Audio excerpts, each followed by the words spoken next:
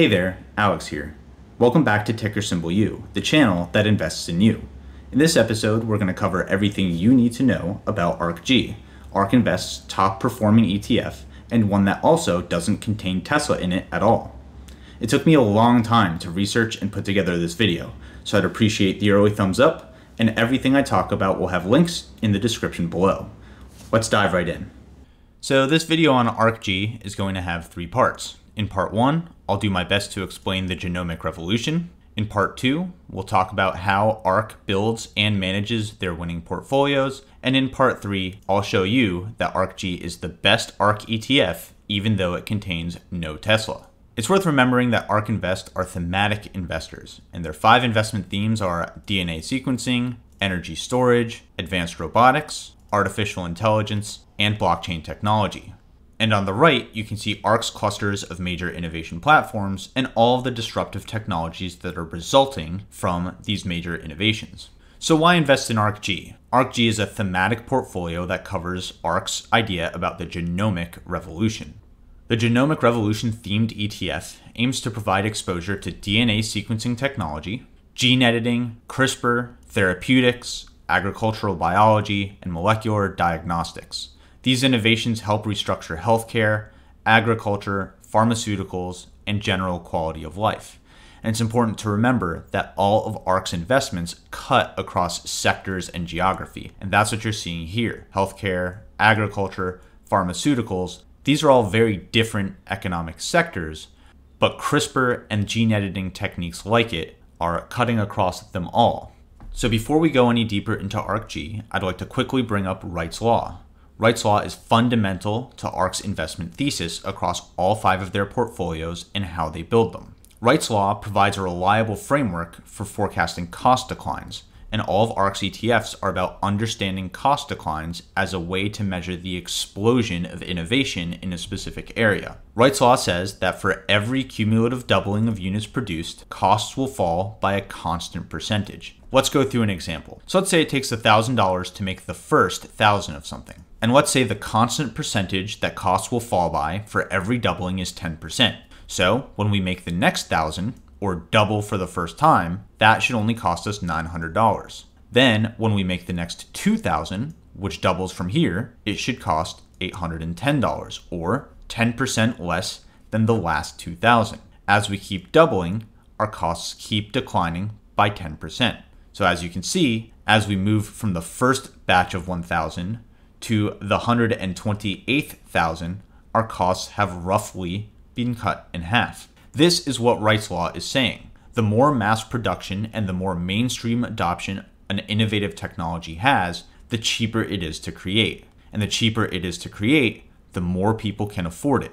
So Wright's Law is really about this cycle of adoption leading to cheaper prices and cheaper prices leading to more adoption. In one of my earlier videos, I talked about how ARK Invest will keep making history because they understand it better than anyone else. One of the things they understand better than anyone else is the laws that govern how innovation gets adopted over time. All innovations, no matter how big, have three parts to their life cycle. In the first part, the technology starts as a proof of concept. And the first parts to prove that concept, for example in electricity's case, are incredibly expensive both in time and money to produce. As more people and companies get invested, the costs of that production slowly start to decline. That's because people get better at producing something and money is invested in technology to produce it faster. Eventually, institutional knowledge on how to produce that key piece of technology, you know, for example, copper wire or electrical circuits or whatever we're talking about, hits some critical point in the curve where it's much easier to produce which makes it much cheaper to make. Once a technology becomes easy or cheap enough to make, you can pass those cost savings off to the people who have to buy into them. This middle plot shows you the adoption curve of electricity across different manufacturing subsectors. As you can see, in the 1890s, electricity was almost not adopted by anyone at all. But in the 30 years after that, by 1920, there have been critical adoption rates of electricity across every major sector and definitely by 1950 and 60, every sector was using electricity more often than not for means of production. These are things like producing automobiles, or building houses, or powering modern appliances. Think about all of the day to day things you use that require electricity. And of course, in part three, new technologies can now stand on top of electricity. For example, innovations in transportation, advanced robotics, electrification and energy storage, communications, and media all rely on electricity to work, and they can each have their own cost curve declines, cross sector ramifications, and spawn new innovations on top of those. If you're interested in learning more about the history of innovation and how ARK uses that history to make its future investments, I encourage you to check out my video on why ARK Invest will keep making history. Okay, so now let's get back to ARKG. ARK Invest has spotted these declining cost curves in genome editing techniques, and that's the fundamental cost curve that they think is going to decline enough to the point where genome editing techniques will be widely available in every market sector and industry that we use today, just like electricity was over 100 years ago. So, what you're looking at is a table of three genome editing techniques, starting with ZFN, followed by TALENs, and the modern day one called CRISPR. And let's take a look at the cost curve decline. The first human cell modification for ZFN occurred in 2003. It took 22 days to complete and roughly $5,500. In 2009, only six years later, it took 10 days instead of 22 to complete the same task, and the cost dropped by over 10x to $360. In 2012, that time got cut in half again to five days, and the cost to do that same task dropped by another 10x down to $30. This is the same pattern that we identified in electricity and that CRISPR is providing for us in the genome editing technique space today. So, in this table, it's not that easy to see how each one of these techniques individually impacted this cost curve. ZFNs, TALENs, and CRISPR all played a critical role in lowering the cost of genome editing. So this is the cost decline for TALENs. As you can see, in 2012, it cost roughly $5,000. And by 2016, it was at that $360 mark. And even for having to do customized procedures, that cost dropped from $10,000 to roughly $2,000 in the same five year span. This is a dramatic cost decline associated with institutions and researchers investing more and more technology, knowledge, and infrastructure into the TALENs techniques. So how does CRISPR fare against TALENs? Well, there's three main categories of gene modification. Gene knock-in and knock-out, gene silencing, and upregulating and downregulating the expression of genes. So let's compare the costs of these gene modification tasks between these two techniques. TALENs is in orange and CRISPR is in green. This dotted line represents the degree of cost difference between the two techniques. So for example, this triangle here is at around 3, which means that CRISPR is about three times cheaper at knocking in and knocking out genes than TALENs. It's about six and a half times cheaper at gene silencing, and it's about four times cheaper at upregulating and downregulating gene expression. So, because it costs so much less to sequence a human genome using CRISPR, you can sequence a lot more genomes. So, the plot you're seeing here shows just that. In 2004, we sequenced two human genomes. In 2007, we increased a third. In 2010, we sequenced a total of eight human genomes. And by 2013, we sequenced 10,000. When did CRISPR come out again? Oh, yeah, 2012. So CRISPR is responsible for this big jump in the number of genomes sequenced. And from there, you can see that the number of genomes sequenced is exponentially rising every three years. 10,000 to 422,000, 422,000 to 10 million, 10 million to 170 million. And because we're hitting many cumulative doublings, the costs are declining accordingly. In 2004, it cost roughly $100 million to sequence a given genome, and today, you can get your own DNA genetic testing and analysis done through services like 23andMe for on the order of $100. Okay, so the modern gene editing technique is now CRISPR. CRISPR is responsible for this annual sequencing volume sharply rising and reaching 2.6 million genomes in 2019. And the estimate by 2024 is many more cumulative doublings to 105 million genomes sequenced. Remember, this rapid increase in number of genomes sequenced is going to drastically reduce the cost it takes to sequence any one genome. And as these costs continue to decline, more and more market sectors will find ways to use this technology to their advantage over time. Regardless of sector, CRISPR also improves every step of the drug development process, all the way from foundational research to the actual development of drugs. I really can't overemphasize how important and revolutionary the CRISPR gene editing technique is. On October 7th of this year, the developers of this technique won the Nobel Prize in Chemistry. CRISPR is often thought of as the scissors of gene editing. It's a foundational technique that allows lots and lots of future innovations to sit on top of it. Using this technique, researchers can change the DNA of animals, plants, and microorganisms with extremely high precision. This technology has impacts on life sciences, cancer therapies, agriculture, pharmaceuticals, the list goes on and on. If you're interested in more news pieces like this as they relate to ARK Invest's biggest holdings, I encourage you to check out my weekly Market Monday series. In that series, we look at broad economic topics week by week, then we dive into ARK Invest specific news, like the innovations of one of their top holdings winning a Nobel Prize, and then we look at their weekly buys, sells, and trades in that context. So, we've talked a lot about the cost declines associated with the CRISPR gene editing technique let's take a look at all of the different sectors that it's currently affecting. Here are just some of the accomplishments that CRISPR has enabled.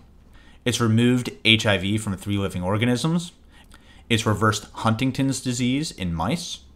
It's encoded and played back a video of a galloping horse in E. coli bacteria cells. It's edited genetic disease out of human embryonic cells and of course, probably their biggest innovation to date was genetically modifying you to smash both the like and subscribe button. Nailed it. But in all seriousness, as you can see, CRISPR has enabled accomplishments in many different sectors. So far, we've talked about the cost curve declines associated with gene editing thanks to CRISPR, some of the different sectors that CRISPR is enabling new innovations in. So now let's talk about some of the new innovations that are being stood up on top of CRISPR. One such area is the improvement to agricultural productivity. As you know, the world's population is constantly growing, and that's what's being shown in blue. Eventually, the number of people that CRISPR based agriculture can feed will outpace the growing population. So, in the middle of 2023 or early 2024, we'll be able to produce more crops than we need to feed the entire world thanks to CRISPR. This agricultural innovation is an example of just one innovation that's standing up on top of CRISPR. So, in addition to medicine, agriculture is another big industry and sector that CRISPR is disrupting. Here's a quick list of some other innovations in the agriculture sector thanks to CRISPR. CRISPR allows farmers to raise tuberculosis resistant cattle. It allows them to raise pigs with lower fat content. It allows higher yields of crops that are pesticide free and still weather and bug resistant. In fish, it reduces the gestation period by up to half. It allows aqua farmers to sterilize farmed fish to protect local wildlife, and of course, increase disease resistance in aquaculture to avoid things like food poisoning. Now that the costs of gene editing have lowered substantially thanks to CRISPR, many different companies are using it for different agricultural innovations. Speaking of companies, the next step in the process is for ARK Invest to decide how to build a portfolio around this revolutionary technique. So, what you're seeing here is a map from one of their genomic editing white papers. It focuses on the institutional and foundational patent holders of different gene editing techniques related to CRISPR. It looks at the companies that use these techniques and have relationships with these research institutions, and then it tracks other licenses that these companies may have. So, for example, Massachusetts General Hospital works in the space of human therapeutics, and one of their surrogates is Editas Medicine. Editas is one of the stocks in the ARKG portfolio. And on the right here, I'm just showing you the full map, more so you can see the process that they go through to decide which companies are of interest to them for this portfolio. So here's a quick breakdown of the ARKG ETF. On the left, you can see traditional market sectors, and on the right, you can see innovation platforms. So, according to a traditional market sector breakdown, this ETF holds 97% healthcare, 2.5% information technology, and 0.4% in what I'm assuming is cash. I'm showing you this because one of ARK Invest's claims is that if you're investing in innovation technology that's very forward looking, it doesn't make sense to use traditional market sectors to break it down. And that's what you're seeing here. This breakdown explains almost nothing about the fund. Instead, ARK Invest also breaks down their composition by the different innovations that it contains. For example, the ARKG fund contains 23.5% exposure to molecular diagnostics. It contains 13.7% exposure to gene therapy, 12% to bioinformatics, 8% to specifically next generation oncology, so on and so forth. When we talk about ARK Invest portfolios, I strongly encourage you to think about the composition in terms of the innovation platforms it contains, not just the sectors that it crosses. I think that this table on the right is much more informative than the table on the left. The reason I want to bring this up is because of how ARK Invest might look at and actively manage risks inside this portfolio. Very briefly, one reason to break your portfolio down by sector is to understand how the stocks within your portfolio move in relation to each other. But as you can see, when all of your portfolio contains only one sector, it's very hard to make any meaningful decisions about the risk of how that portfolio might move in the broader market. So, another way that ARK Invest chooses to break down their portfolios is by innovation platform. For example, as we saw for ARKG, it contains molecular diagnostics, gene therapy, and so on. Don't worry about the numbers here. The important part is by breaking things down by innovation platform instead of by market sector, they can get a lot more information about how their stocks are correlated or how the stocks in the same portfolio are moving in relation to each other, even if they're in the same market sector.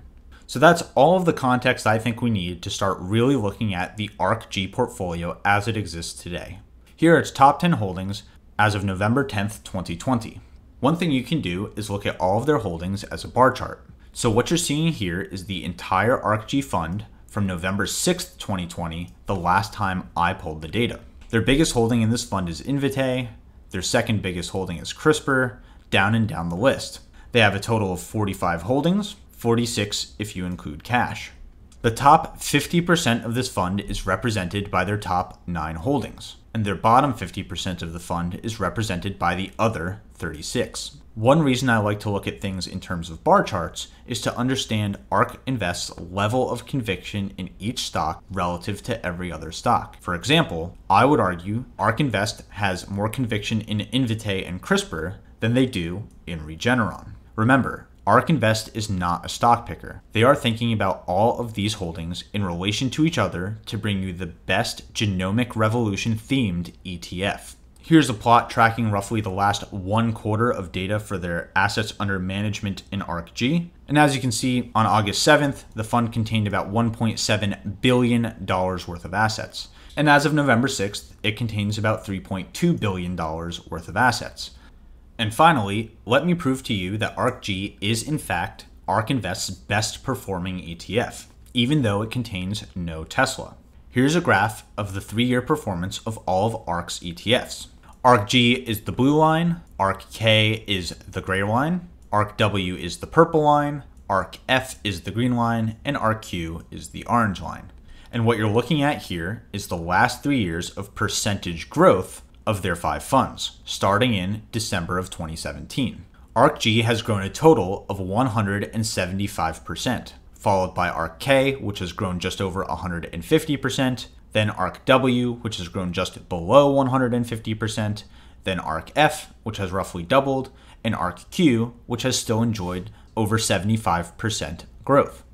You can, of course, do the same thing for a two year timeline you can see that ARKG has grown over 150% in the last two years, and none of the ETFs holding Tesla have matched that growth. ARKK, ARKQ, and ARKW, all of which hold Tesla as their number one positions, come close, but almost never beat out ARKG. Here's that same plot, but for the last one year of performance. You can see that ARKG grew by almost 120%, and of course, we can look at their year to date performance, which should be very similar to the one year performance because it's almost the end of the year. So, looking at the growth of all five of ARK's ETFs as of January 1st, you can see that ARKG has grown the most this year, almost no matter when you look at it. and it's the only portfolio that has more than doubled in value this year. So if you're watching this video, chances are you've heard of ARK Invest because of their incredibly bullish stance on Tesla. But I just showed you that their best performing portfolio has no Tesla in it. How do we reconcile these two facts? So as a quick bonus, I just want to show you ARKG's performance relative to Tesla. As you can see, Tesla had an insane year, growing almost 500%, and there should be no doubt in your mind that it would outperform ARK Invest's best ETF. Tesla is one company, and ARCG is made up of almost 50 different holdings. An actively managed ETF will never be able to outperform a stock that reaches parabolic growth. ARK Invest is in business to identify these parabolic growth opportunities and stick them in their portfolio to their benefit. If you're very bullish on Tesla, you should feel very good about investing some of your money in ARK Invest, specifically ARKG, and manage your own Tesla position knowing that those two things have very different risks and both have very high reward potential. When Tesla goes up, you can trim your position and put it in ARKG, and when ARKG goes up, you can trim some of that position and put it in Tesla, remembering that they shouldn't move up and down together very often because ARKG doesn't contain Tesla. If you've made it to the end, you're awesome. This is ticker symbol YOU. My name is Alex, reminding you that the best investment you can make is in you.